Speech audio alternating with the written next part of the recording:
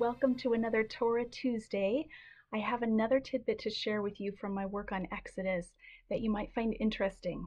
I've been studying the process of brick making as well as this the type of slavery that the Israelites lived under in Egypt because I've always been curious and I've heard a lot of students ask like how does the slavery in Egypt compare to say the slavery of the Civil War era United States or slavery in other countries today. So I found this interesting. The, one of the most helpful commentaries I looked at as I worked on this was George Pixley's commentary on Exodus, a liberation perspective. And what he taught me is that in ancient Egypt at that time, there was a kind of generalized servitude where every resident of Egypt had to give the state service whenever the state demanded it. And so it wasn't specific to the Israelites, it was actually generalized to every resident of Egypt. Now, the Israelites had it extra bad though, because it tells us in um, in chapter 1, verse 12, the more they were oppressed, the more they multiplied and spread, so the Egyptians came to dread the Israelites and worked them ruthlessly. There's actually a sense of disgust. They couldn't stand looking at the Israelites. So there was this generalized servitude, this system of, of how they did labor in Egypt that was combined with racism and, and with disdain for the Israelites. And so that complicated each other to make it a very oppressive situation. Um, if you'll remember from the book of Genesis, it was Joseph's idea for the state to buy up all the land in Egypt in exchange for giving people food and so that they could survive the famine. And so I think what we see is that one generation's solution to a problem becomes the next generation's tool of oppression if that next generation shows greed and a lack of character or lack of compassion for people. Every generation's leadership tends to become more oppressive than the last as each one is just a little greedier and little wants to extract a little bit more from people.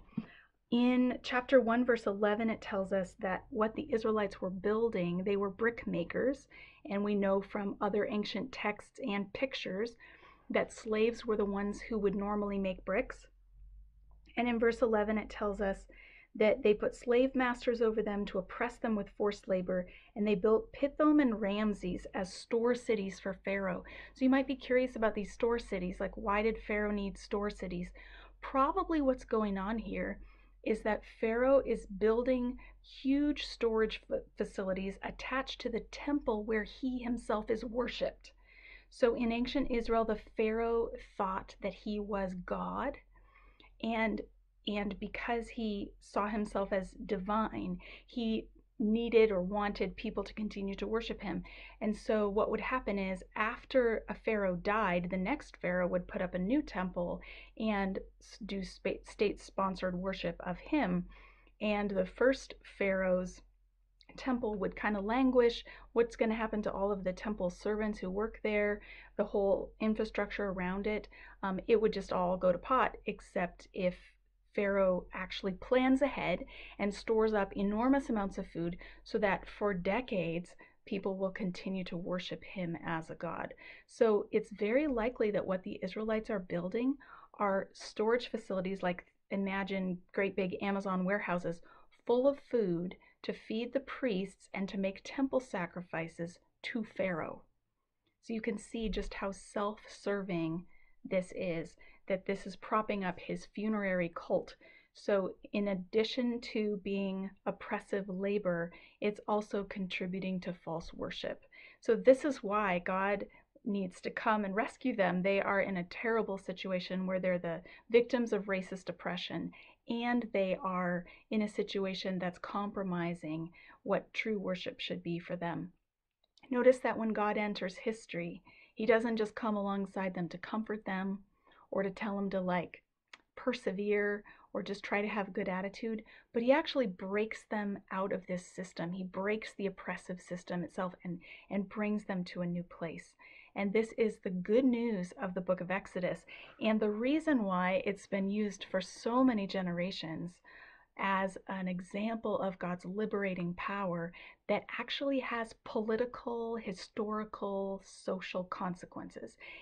Spirituality in the Bible is not just a disembodied set of ideas or doctrines, but it actually makes a difference on the ground.